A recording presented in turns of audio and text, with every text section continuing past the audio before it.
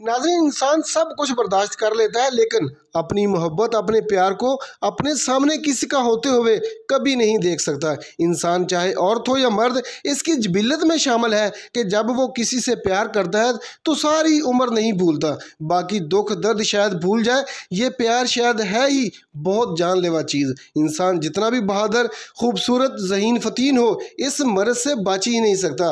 Drama serial रद में भी जैन इसी बीमारी में मुबतला हो गया है ईमान सलार की हो चुकी है। दोनों खुशबाश ज़िंदगी बसर कर रहे हैं, मगर जैन रकाबत की आग में जल रहा है।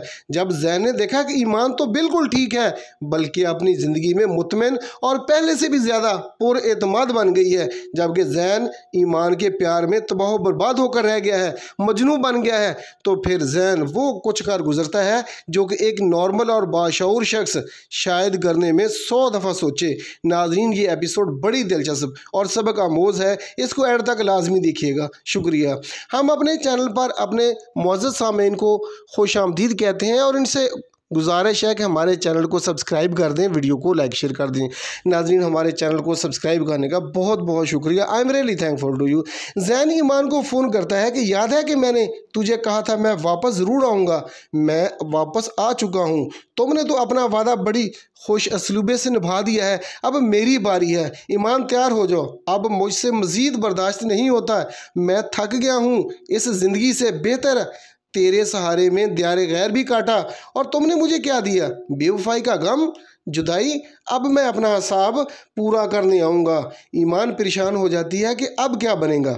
जैन ईमान के घर आ जाता है, जबकि दुआ तैयार होकर दफ्तर जाने वाली। ईमान को क्या पता था कि आज वो ड्राइवर के साथ नहीं जाएगी, बल्कि इसका पुराना प्यार इसके लिए परेशानियाँ लेकर आएगा।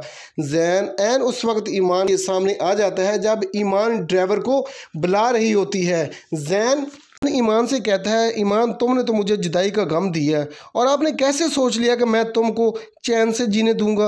वो भी मेरी नाक के नीचे। ईमान कहती है, जैन, इसमें मेरा कोई कसूर नहीं है, इसमें तेरे अपनों का कसूर है, उन्होंने आपको कुछ नहीं बताया।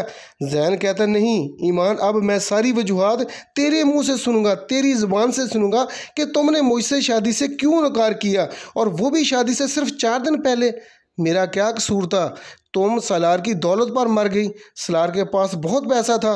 वो तुम्हें बड़ी बड़ी गाड़ियाँ और मोहल्लों में रखता, इसलिए तुमने मुझे ठकराया। अगर ये बात थी तो तुमने मुझसे प्यार ही क्यों किया था? क्यों प्यार करके धोखा दिया तुमने? मेरी ज़िंदगी को जहन्नम बना दिया है। अब ईमान तुम्हें, तुम्हारे किए की सज़ा तो मिलेगी। जैन ईमान को ज़बरदस्ती गाड़ी में बिठाकर ले जाता है। उधर ड्राइवर सलार को फ़ोन करता है कि कोई ईमान बीबी को गाड़ी समेत अगवा करके ले गया है। सलार पहले तो चौकीदार को डांटता है कि कोई कैसे गाड़ी समेत ईमान को अगवा करके ले गया है और तुम देखते रहे तुम्हारे पास कुछ नहीं था। तुम्हारे गेट पर होने का क्या फ़ायदा?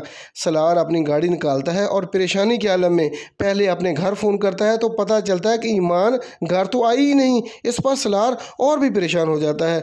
दूसरी तरफ़ जैन गुस्से और रकाबत की आग में ईमान को ज़बरदस्ती ले तो गया, मगर थी तो वो किसी ज़माने में जैन की मोहब्बत, जैन की ज़िंदगी, वो एक होटल के लॉन में बैठे हैं और जैन ईमान के सामने हाथ जोड़ता है कि ईमान, मैं तेरे बगैर नहीं रह सकता। मैं अब हार गया हूँ, मैं तुझे भूल नहीं पा रहा, प्लीज़ मुझसे शादी कर लो। ईमान जैन को कहती है कि जैन, अब तो मेरी शादी हो गई है, अब कुछ नहीं हो सकता। इसी असला में सलार भी वहाँ पहुँच जाता है। जब सलार ईमान और जैन को देखता है तो सलार बहुत गुस्से में आ जाता है और वो जैन को कहता है कि ये इतनी घटिया हरकत करोगे, इसका मैं सोच ही नहीं सकता था। तुम तो इतने गिर गए हो कि तुमने तो हमारी रिश्तेदारी का भी ख्याल नहीं किया।